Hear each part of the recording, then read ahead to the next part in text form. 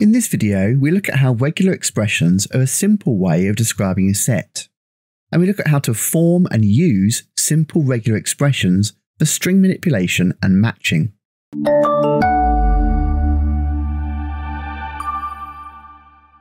In the previous video, we touched on the concept of regular expressions, special sequences of characters that can be used to find or match patterns in text.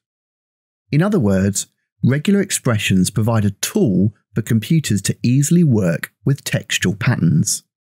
Uses include string searching algorithms, find and find and replace operations on strings, input validation, and compilers checking syntax.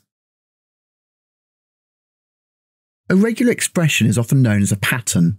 It is used to specify a set of strings that meet certain conditions.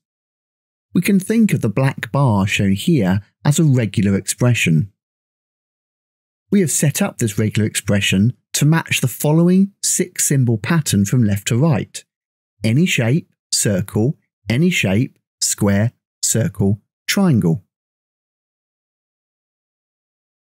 We can see as we move down, we can use this regular expression to either match or unmatch the various patterns.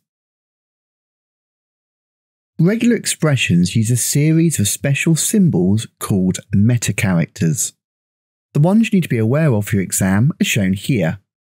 Note that any other metacharacters used in exam questions will be explained as part of the question.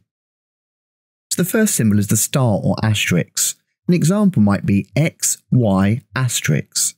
This means zero or more preceding elements before the star. So x, xy, xyy, xyyy, etc., etc.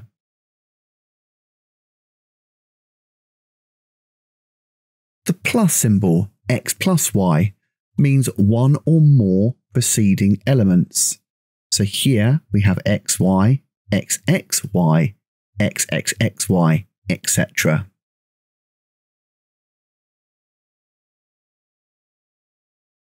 The question mark.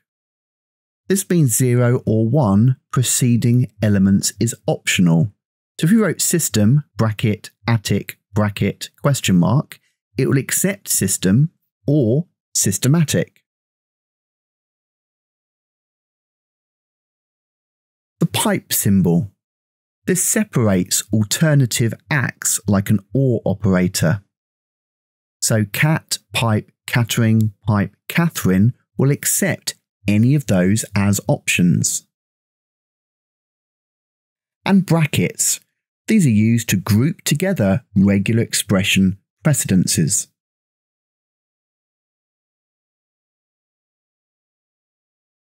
Having watched this video, you should be able to answer the following key questions. What are the uses of regular expressions, and what do the following regular expression meta characters mean?